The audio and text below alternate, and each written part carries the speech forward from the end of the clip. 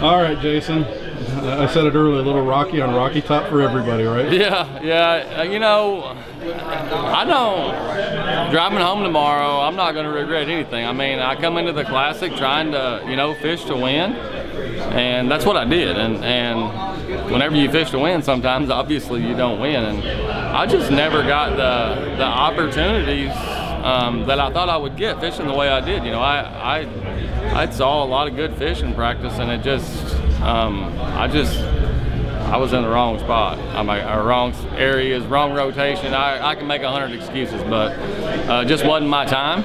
Um, word on the street it's going to be real close, so I don't know whose time it's going to be, but they're going to be having fun later tonight. All right, so would it be harder to accept that you missed it if everybody else hadn't? Because I mean, this was just tough, right?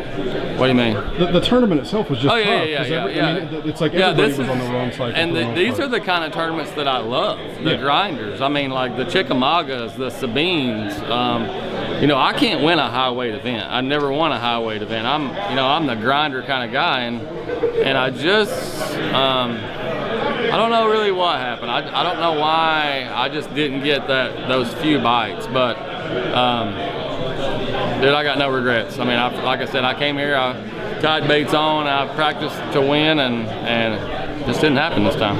What was the program this week? What did you catch them on? Uh, I caught everything, um, not everything. I caught a lot on the Booyah Finesse spinnerbait, the new one, the first two days. Um, and then today, I mean, we had no wind. And, and the first two or three bites I had on, I caught one right off the bat on spinnerbait, I had two or three bites that wouldn't get it.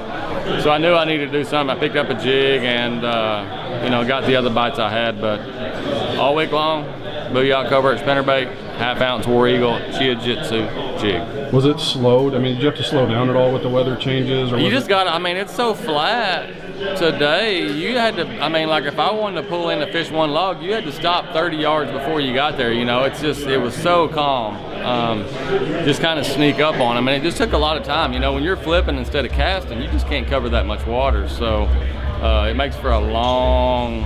You know, it just takes a lot longer. And there, you know.